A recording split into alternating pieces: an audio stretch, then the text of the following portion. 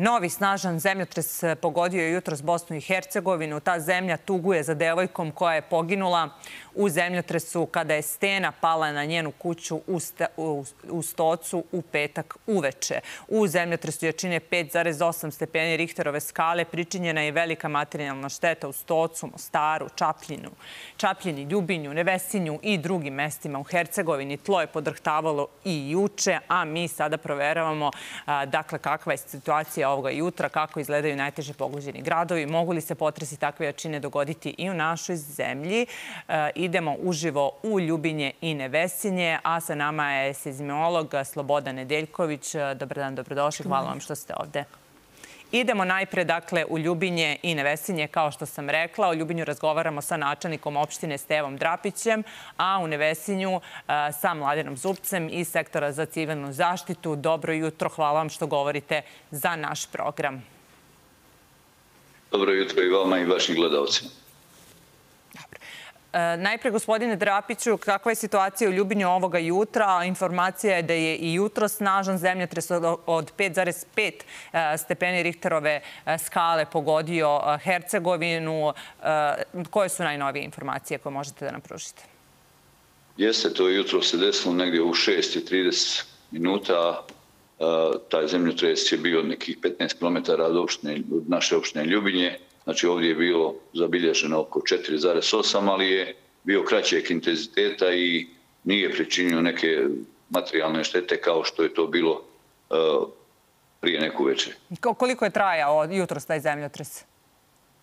Pa to je ispod 10 sekundi trajao taj zemljotres i jutro je to. Nadam se da je ovo konačno stabiliziranje tla jer smo mi imali uh, posle onog zemljotresa od preksinoć dodatno juče 13 manjih zemljotresa, to su bilo po dva, dvije, tri tude i ovaj jutrošnji je bio nešto jači, ali evo, nadamo se i vjerujemo da je to stabilizacija tla i da nam se neće ponoviti ono od neku večer.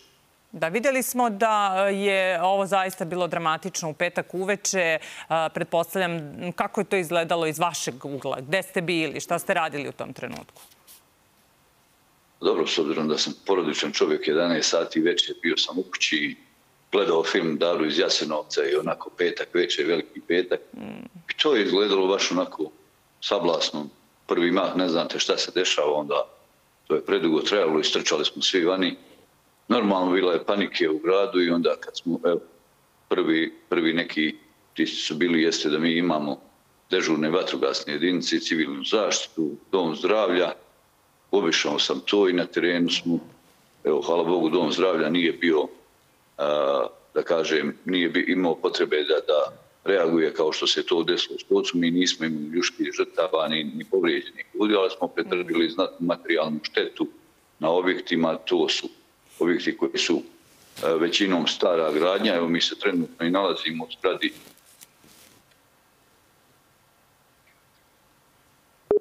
Dobro, za trenutak smo izgubili Ljubinje, dakle, ali vratit ćemo se naravno. Nadam se da imamo na vezi gospodina Mladena Zupca iz Nevesinja. Da, imamo vas. Evo, dobro jutro i vama još jednom. Kažite mi da li se ovaj zemljotres za koji se dogodio jutro osetio i u Nevesinju?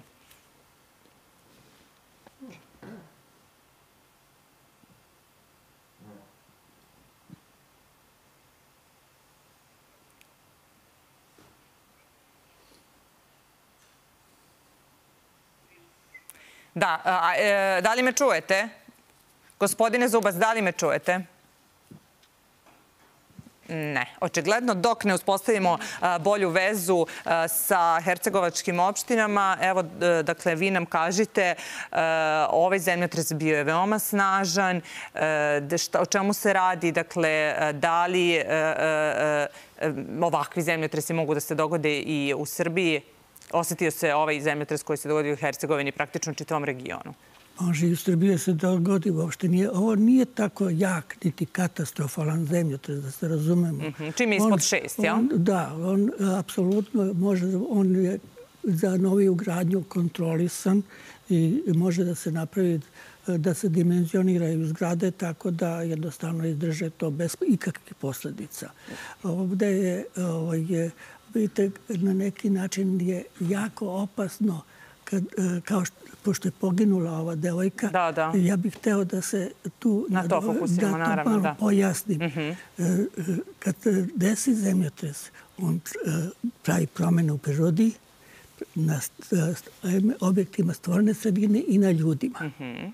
E, to je prostor u kome on deluje. Uh -huh. E, ovde, sada, kad zasečete padinu, i stavite kuću ispod nje, e, odmah tu zasek, onda jednostavno, pošto su te stenske mase gore mm -hmm. stoje, one se otkinu pri zemljotesu, a mogu i pri velikim kišama, mm -hmm. pri olujama, da se desi tako veliki komad i da padne. Prema tome, ta kuća je morala da ima jedan potpunu konstrukciju koja će zadržati to što može od ozgo da pada. Mm -hmm. e, to je onaj deo u, u urbanizmu, u planiranju, treba već da, da se da, da. predvidi za, kad ste osposobili da taj prostor bude primenjen, uh, prime, uh, priveden nameni stanovanja, onda se na ovaj način desi. Jasno, ovdje ću da vas zaustavim samo da iskoristimo dok imamo dobru vezu uh, sa Nevesinjem i Ljubinjem.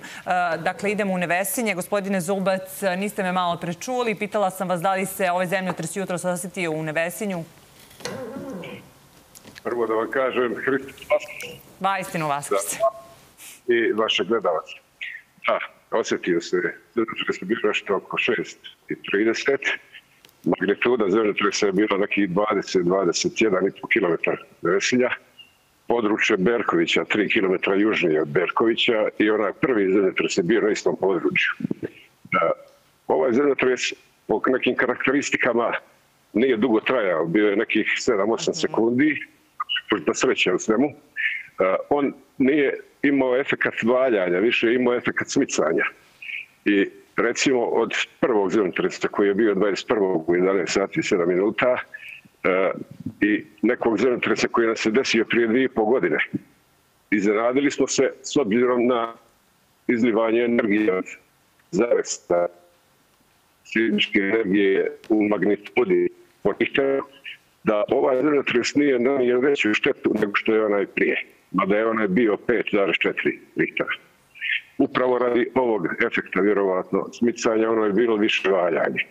Ono što smo uradili u prvim trenucima posle zemljotresa e, jeste da smo odmah aktivirali lokalni krizni centar koji je jedan dio štaba za varedne situacije. Obišli smo najurgentnija područja, najguštije naseljena područja i ona područja koja smo smatrali najrizičnijim u samom gradu. Ustanovili smo da nema i nije bilo E, objekata koji su mogli narušiti zdravlje ljudi, odnosno da, da naprave štetu na životima ljudi. Mm -hmm. U toku včerašnjeg dana obišli smo uglavnom područja koji su bila najbliža riziku ovaj, od stvari zemljotresu, epicentru. Ustanovili smo da osim smicanja cigle i ponekog dimnjaka, e, većih konstruktivnih šteta nema, što nas je jako iznenadilo u nekom firnom smislu. Ono što je indikativno jeste da već živi od nekom periodu, od će tri godine skoro, u stalom prahu crnotresa. Znate, na Božnju silu se nikad ne možete navići. Ono, mm. jednostavno, živite s tim, ali uvijek ste u pripravnosti i liježete s tim, ustajete s tim u neko vrijeme i, i odlazak u krevet i ustajanje vas probudi upravo to. Mm -hmm. Kada Na... pamtite prošle put da je bio tako jak zemljotres kao ovaj uh, koji se dogodio u petak uveče? Pa eto, to je bilo prije dvije i pol godine, novembar 2019. godine. Mm -hmm. Inače, mi spadamo u neko područje koje je veoma rizično u tom smislu. Mm -hmm. I kada gledamo u nekom istorijskom periodu u vremenu zabilježenih zemljotresa 1907. 1927. 1964. zemljotresi koji su imali magnitudu iznad 5 Richtera. Čak jedan prema procjeni iz 1907. je bio 8,3 Merkalija, e, skoro 5,5 Richtera. Tako da ovo područje jeste ugroženo u svakom slučaju kao područje čitave Hercegovine ili bolje reći onog područja koje nazivamo subitnitno podlačenje takozvane jadranske, odnosno evropske poče, afričku, ja. I jednostavno s tim se živi i na neki način ne možete se navići, ali jednostavno mora se živiti. Da, da se nadamo zaista da se neće ovo ponavljati. E, najstrašnije je što je izgubljen jedan ljudski život. E, vraćamo se sada e, do Ljubinja sa načelnikom opštine Stevom Drapićem. Prekinula nam se veza, bila u jednom trenutku. Evo, pa izvolite, nastavite. Ako se ne varam, pričali ste o šteti koja je pričinjena, a u vašoj opštini pričinjena je znatna materijalna šteta. Izgleda opštine je također oštećena. Jeste upravo za koje mi se, kažem, nalazimo u zgradi opštine koja više nije uslovna za rad i mi moramo koliko sutra, e, tako smo dogovorili, mada je bio kao neradni dan, dogovorili smo da iselimo e, sve iz zgrade opštine, da pređemo alternativni neki smještaj, to je, imamo hotel u blizini zgrade, pa ćemo probati organizovati posao opštinske administracije u tom hotelu privremeno i ovdje ući u neku sanaciju ovog objekta. Dogovorili smo da projektni biro hidroelektrana na Trebišti nam uradi projekat i da bi mogli ovo sanirati. Juče su bile ekipe sve na terenu, civilna zaštita, pomoć komšijskih opština iz Hercegovine, jer mi smo mala opština, nemamo, nemamo dovoljno ni, ni ljudi, ni resursa, ni tehnike da to sve sami ispratimo, tako da su nam priskočili pomoći Republička uprava za carne, za civilnu zaštitu i, i komšije iz Trebinje iz drugih opština, tako da smo uspjeli sanirati da kažem, ona prve posljedice ovog zemljotresa, a to je imali smo preko 25 intervencija na, na stambenim objektima gdje je bilo na zgradama rušenje timljaka, po krovovima fasada i sve smo to, da kažem, juče uspjeli da stavimo da, da ne bude ugrožena prolaznici, ni ljudski životi, ni stanari u tim zgradama, tako da smo juče taj korak uspjeli da napravimo. Od sutra nam preostaje ovaj drugi, da krenemo u sanaciju svih šteta, jer ima mhm. dosta i objekata i kuća, starih kuća, starije gradnje su dosta oštećene. Imamo dva, dvije porodice koje smo iselili, već preksinoći isključili struju u toj, toj stambenoj jedinici, jer prosto ona više nije uslovna nikako za život i sledili smo te porodice. I evo, od sutra krećemo, nadam se, u obnovu svega ovoga što nas je zadesilo i u nadi da neće nam se ovo ponoviti. Da, strahujete li, to je moje posljednje pitanje za vas, da li ljudi strahuju od novih zemljotresa sada? Pa dobro, vidite, e, sa tim živimo. Ovo je zemljotres koji, po mojim nekim saznanjima, kad smo juče sve pričali, u Ljupinju je samo bio 1927. jači zemljotres, ovaj je bio baš onako jak i, evo, ja kažem, s obzirom da se to sve nekako izdešavalo u najveći ove hrišćanske praznike. Vjerujemo, mi smo u Hercegovini vjernici i vjerujemo u Boga i u prirodne procese, da nam se ovo jednostavno neće ponoviti da je ovo samo jedna opomena, mi da je shvatimo ozbiljno i evo, da mi, ja kažem, ono što je od Boga ne možemo promijeniti, ali ovo od ljudi daj da promijenimo i to je na nama da radi. Da, videla sam juče neka tumačenja, a pitićemo posle Jovana Janjića koji dolazi u naš program da je e, po Bibliji baš na e, Vaskrs, e, odnosno na Veliki petak se i dogodio također zemljotres. E, pričat ćemo o tome, vi ste to sad pomenuli. A ja ću sada da pitam gospodina koji je seizmolog, dakle, šta vi mislite, da li se sada sleže tlo, da li će biti novih potresa u Hercegovini? Znate šta, posle jakog zemljotresa ovog tipa imate seriju afteršokova. I otprilike red bi bio da bi se ta prema ovoj energiji koja je oslobođena, jedno, bar jedno, dva, tri mjeseca ponavljali ti zemlje, to, između njih, to bi bili slabiji, a onda između njih može neki jači e, da se pojavi.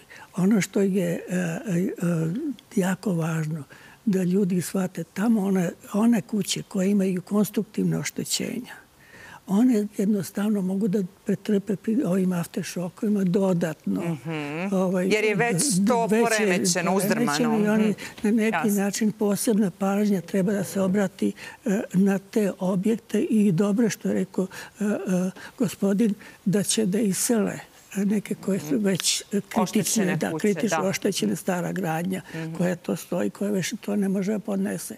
Ono što bi još teo da sugeriram, ako bude kiša, pošto, su, pošto je to brdoviti kraj, Znate, i, ovaj, je, može da se desi, pošto to je u prirodi dosta razrešeno, može da se desi opet neko pri, pri ovim afteršokima, oburvavanje i svega toga. I zato je mhm. dobro... Klizišta.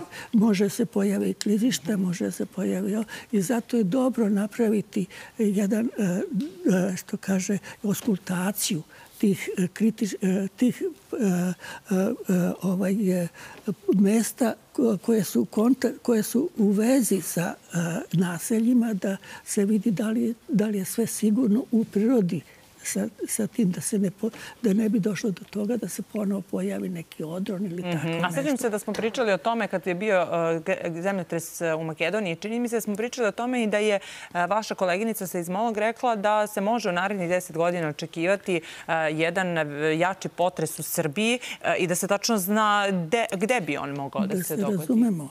Ovaj, jedna, jedna stvar, ovaj zemljotres, naše, naše klimatske karakteristike, koje pokazuju sezmološke karte.